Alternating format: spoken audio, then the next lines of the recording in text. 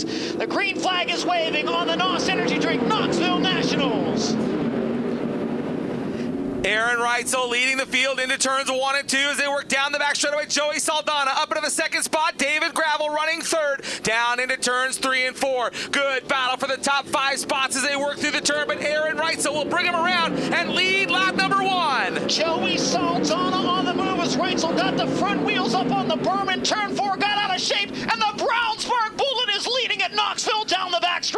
Joey Saldana leading. Aaron Reutzel down to the inside. David Gravel still running in that third spot in a side-by-side battle. Good job to take the lead in turn number four. David Gravel made it work at three and four, and he'll lead lap 14. David Gravel, now Aaron Reutzel in that number two position. Look at Gravel drive away from Reutzel down the back straightaway. So Daryn Pittman just about put it in the fence coming off a of turn oh, four. Tim Kaeding got into the berm and nearly got into, into Brad Sweet, who gets over the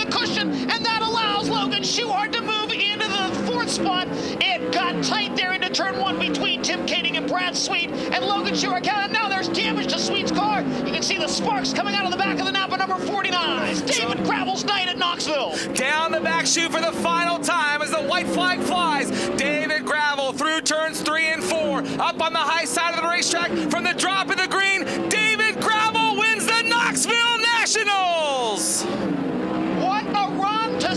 for Logan Schuchart from 22nd, and Daryn Pittman finishes third. Tim Kaeding fourth, and Aaron Ransel in fifth. Getting set to climb up on the car to greet the fans.